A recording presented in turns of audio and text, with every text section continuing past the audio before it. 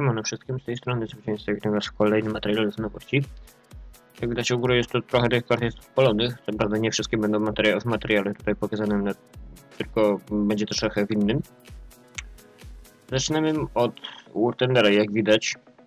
Jak widać na Wartenderze pojawiła się Francja, znaczy w War Thunder pojawiła się Francja i tutaj pojawił się również EMX 3090. Jest to modernizację znanego czołgu lekkiego, e, który dostał no właśnie działa 90 mm. W latach 50. tutaj według tego co tu jest, to jest napisane na stronie Udomina w latach 50. oraz 60. MX 13 13 bo 90 to jest rodzaj kalibru działa okazał się niewystarczający, jeżeli chodzi o porównanie go do innych czołgów w zakresie siły ognia. By to naprawić, by to naprawić stworzono kilka modernizacji zwiększających potencjał tego czołgu. Niektóre z MX-13 otrzymały wyrzutnie PPK oraz na przykład 90 mm. Inne większe działa na przykład 90 mm. MX-1390 jak sama nazwa, wskazuje, otrzymał taką armatę w oznaczeniu F3L57, czyli, czyli długości 57 kalibrów, a F3 to nie pamiętam co to jest. Dzięki niej czołg mógł przybi przybijać mocniejsze wozy oraz znacznie, znacz, ze znacznie, oraz ze znacznie większej odległości. Grałem też, bo już byłem na War Thunder, że i widziałem, że jest taki sam AMX 1390 to jest akurat inny AMX 50 to bodajże. To jest strok ciężki. To jest francuska Pello 13 DCA 40 MX M4 30, MX 35 to jest przegląd chyba całego drzewka będzie. AEK MK2 to jest pojazd kołowy Swoją drogą do Wota mógłby wejść pojazd kołowy. Jest to lotnictwo tutaj francuskie, tu jest też francuskie lotnictwo Erat M10. To jest podobny do Pantery M10 wotowskiej. Tu jest e, FTM36, czyli on też jest na World of ale on tutaj ma w miarę dobry pędzerz, więc tutaj może być go ciężko przebić.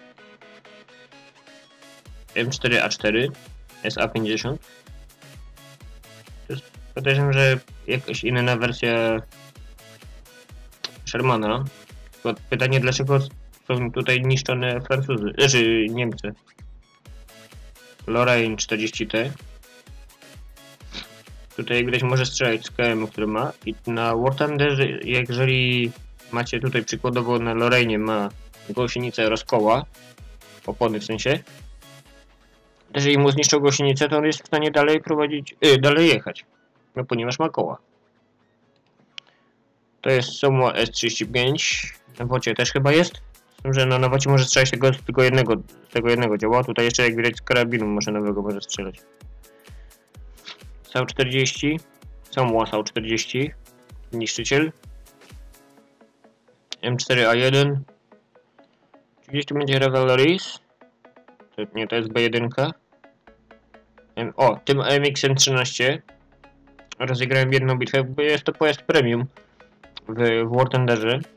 Także rozegrałem on może zarówno z tych rakiet strzelać oraz z KM-ów oraz jeżeli ma jakieś, bo już nie pamiętam oraz z działa głównego. Także, no to jest lotnictwo, to mnie nie interesuje. A wypadł mnie z tym lotnictwem. Kurde. O. Tu coś też jeszcze jest. Że już nie, nie wiem co. Tak się prezentuje tutaj AMX 1390. Tutaj macie porównanie AMX 1390 z żołnierzem, łamane na człowiekiem.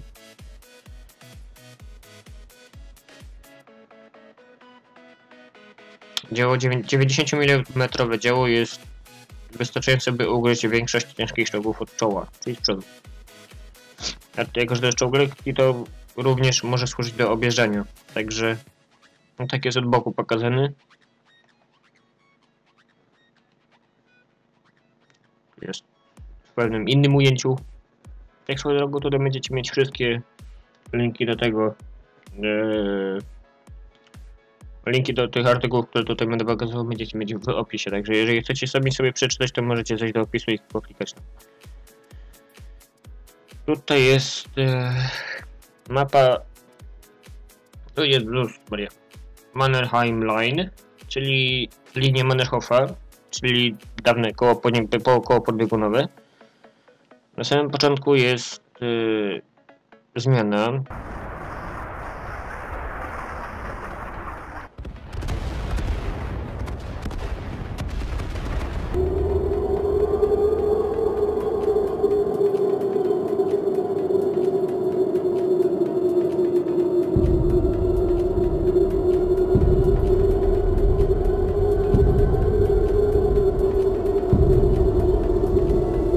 Widać można było, jest zmiana efektów dźwiękowych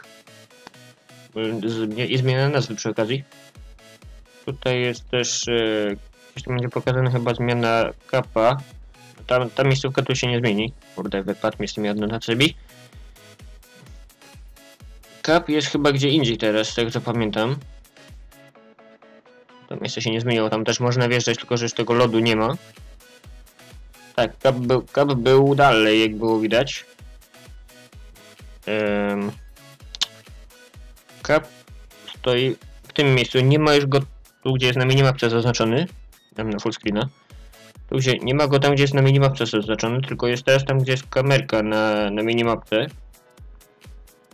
Ponieważ wcześniejszy rest dla linii mniej więcej GH-J3 znaczy HK-J3 był strasznie przesrany, ponieważ można było bić z tego tutaj mm, balkoniku przy drugim respie bezpośrednio na pojazdy przejeżdżające, a teraz już tego nie będzie w mapie HD.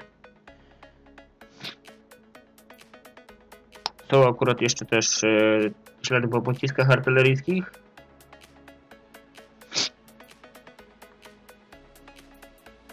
Także tutaj też będziecie mieć wszystko w opisie. O, jest jeszcze Sherman Repotenciado.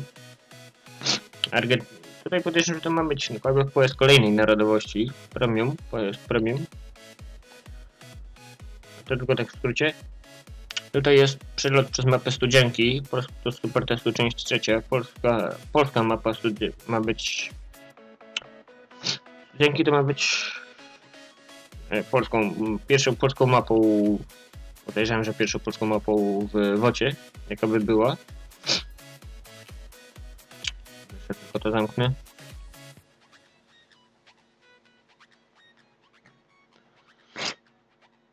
No, minimapka, znaczy mapka tutaj prezentuje się dość wyboiście, że tak powiem, bo to ma być przez pola.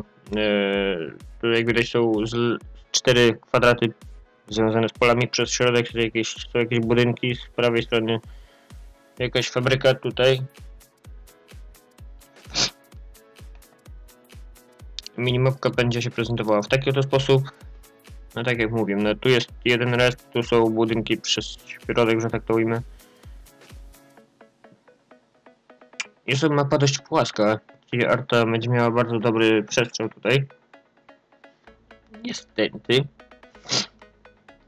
Oraz informacja, że jest nowy kamuflaż i inskrypcja. Jako, że kaczka, czyli MX-40 będzie ostatnim pojazdem przekonwertowanym do jakości HD, nie to jeszcze wprowadza WG wprowadza z tej okazji specjalne emblematy, to dodatkowo do kompletu będzie nowy kamuflaż, inskrypcja, kwak, kwak, czyli kaczka. I inskrypcja.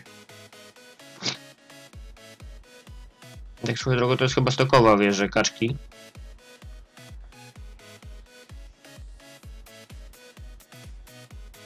Stopniowo pokazane wszystkie przód, tył, boki i tak dalej. I pod kątem. Tu ma być jeszcze inskrypcja takie kolejne. To jest malowanie chyba w kaczki. Tak, to jest to, to, jest to malowanie w kaczki, ka- kaczki w kaczki. A to jest to malowanie, ta inskrypcja. Bez sensu moim zdaniem, no ale trudno. Tutaj został zaktualizowany na mapie linię Monarchowa, czy jakoś tak, e, czyli dawne koło podbiegowe został zaktualizowany ostrzał, ostrzał artyleryjski.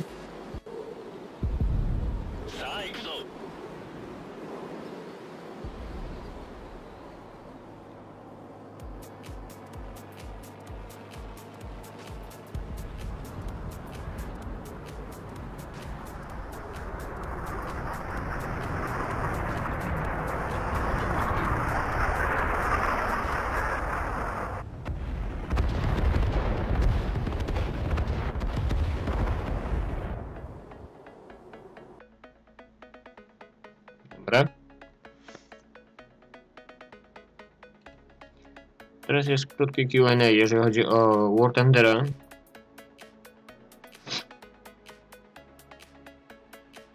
Które mnie lotnictwo nie interesuje za bardzo, także spróbujemy, zobaczymy na jednostkach naziemnych.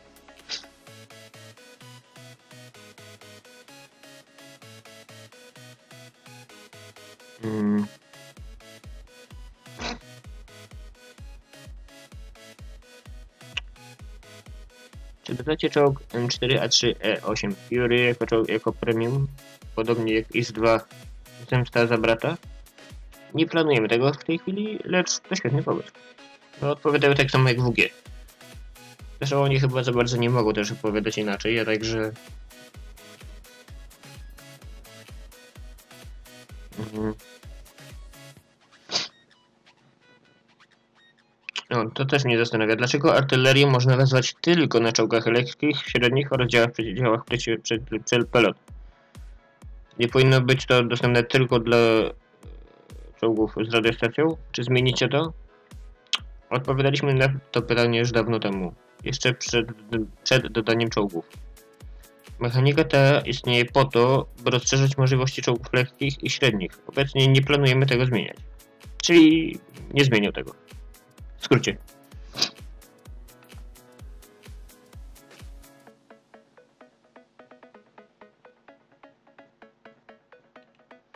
No to jest też pytanie ciekawe, gdzie jako, że było WG stwierdziło, że zrobił WOTA w VR, czyli Virtual Reality, czyli tymi okularami do VR-u. Czyli czy, skupi, czy skupicie się na trybie VR? Dobrze, to nie o to chodzi. Obecnie użytkownicy nie muszą przybliżać widoku oraz obracać się na ogon. Nie rozumiem dlaczego. Prowadzono tryb VR, gdy doświadczenie takiej gry nie jest właściwe. To standardowa praktyka w, w powinno być w VR, czyli wirtualnej rzeczywistości. Przybliżenie i wykonywanie, znaczy przybliżenie wykonywane jest za pomocą zmiany FOV, FOV. A takie małe i płynne zmiany źle oddziałują na Google. Na Google. Na Google powiedziałem. Tryby widoku są przypisane do urządzeń optycznych, celownik i lornet, łamane na lornetka. Właśnie tak to działa. Kiedy używasz optyki, zmienia się FOV. Eee... Jest, jest. Czy karty pojazdów zaczną pokazywać, czy posiada automat ładujący albo stabilizację? Obecnie by się to tego dowiedzieć trzeba przemierzać po blogach albo innych źródłach. Tak, planujemy, doda tak, planujemy dodanie takich danych, lecz obecnie karty zawierają już, zawierają już mnóstwo informacji. Być może lepsza opcja będzie opisanie tego w 10 w X-rayu. W 10 rayu.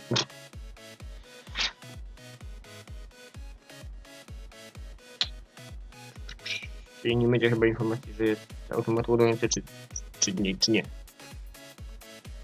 A mogliby dać informację taką.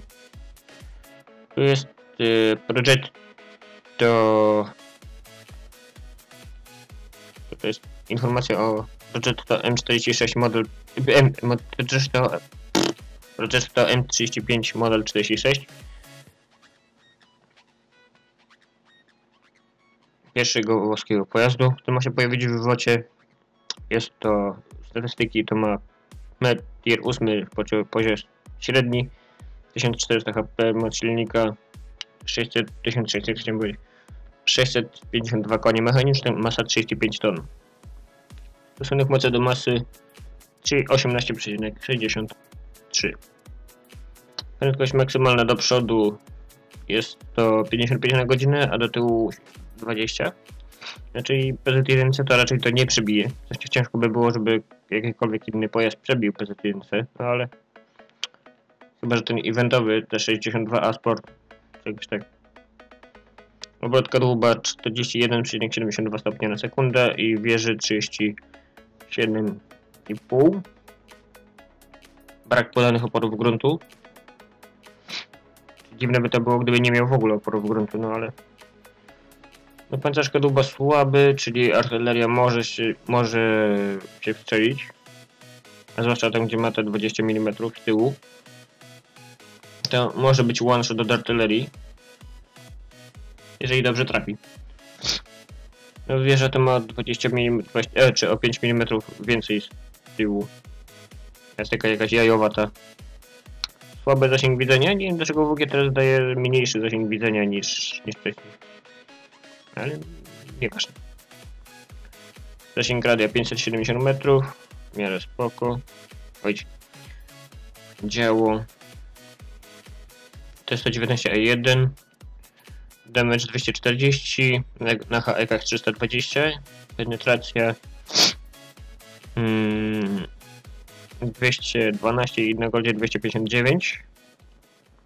DPM jeszcze penetracja na HEK 45, czyli mógłby się wbić w bok drugiego projekta.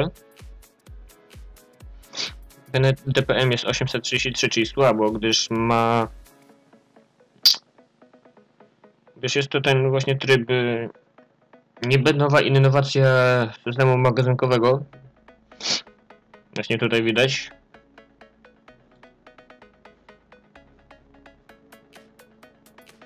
Hmm, cena jest 0,32, czas celowania 2,1. Depresja 10 stopni, a elewacja 20. Dalej nic nie ma. Tutaj też jest informacja odnośnie nowa, nowej nacji, czyli Włochów oraz e, Wiesz, jest to beznadziejny opis dali pod tym filmem, gdyż zresztą można to zobaczyć tutaj. To zdanie. Pierwsze to, to zdanie to jest, to pierwsze to oczywiście net y, Polska, której pierwszym pojazdem, który pierwszy pojazd, już znajduje się w grze.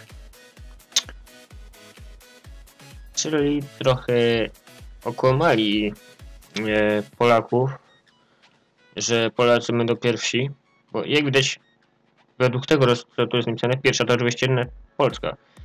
A to gówno, prawda, bo pierwsza jest, pierwsi są Włosi, niestety. Tutaj kolejnym pojazdem jest kolos z kraju wschodzącego słońca, jak to Rykoszet nazwał. Z tego co widzę, gdzieś, gdzieś to były podnapisane kalibry działa, czyli teraz już jesteśmy w World of Warships. Hmm.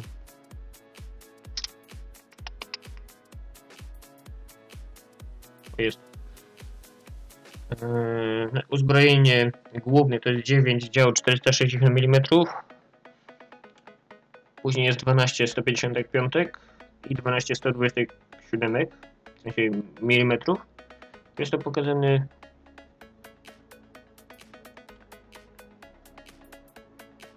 dialog jakiś. Jest jeszcze, są 4, są 4 CKM na okręcie 13,2 mm jeżeli chodzi o pelot. Prezentuje się screen tego, tego okrętu, prezentuje się w taki sposób. Wiem, że to ma być pancernik japoński premium. Z samolotem. Pytanie, że on ma torpedy, czy nie będzie miał torped, bo jeżeli będzie miał, no to może być lekko przesadzony z ciepło.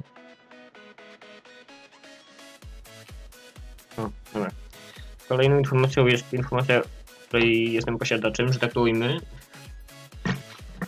Czyli, czyli czy posiadacze konta premium zyskały nowe profity i już uzyskali, gdyż yy, mają to jest to tryb tak zwany Early Access, czyli wcześniejszy dostęp, gdzie posiadacze, którzy, gracze, którzy posiadają konta premium, mają wcześniejszy, możliwość wcześniejszego dostępu do danego konta premium. Tutaj też będą, będzie, jest informacja, że mają wejść francuskie pancerniki. Też nie wiadomo kiedy.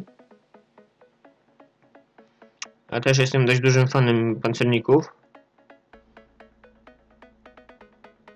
No kurde, pokażcie mi tam te rzeczy. O, tu jest sama prezentacja okrętów. Że ma przynajmniej 4-8 działów. Jeden z pancerników.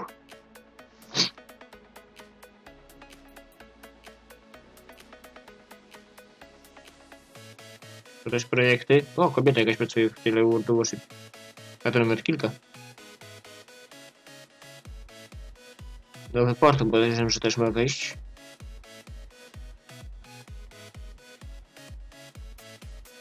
Czekam na hmm, właśnie pancerniki niemieckie, e, pancerniki francuskie, bo pancerniki niemieckie są bardzo fajne. Tutaj, jak już mówię, ma być projekt, projekt to coś tam. Ma być e, nowy pojazd. Włoski, niestety, Chociaż Polacy są już pierwsi. Tutaj jest jak widać to M35 model 46. Co prawda pojazd w ogóle nie istniał. E, jak to WG mówiło w filmie Dziennik Deweloperów, że WG samo go skleiło. Nie, nie mieli żadnych projektów tego pojazdu, więc to jest pojazd wyimaginowany. Macie też pokazane włoskie drzewko technologiczne, jakie mogą być na niskich tierach. Fiat 3000 Carro Armato razy raz, dwa, trzy, cztery. I Asa, Asla, Asaldo Fiat P43 bis. Przed połową marca możemy się spodziewać projekta.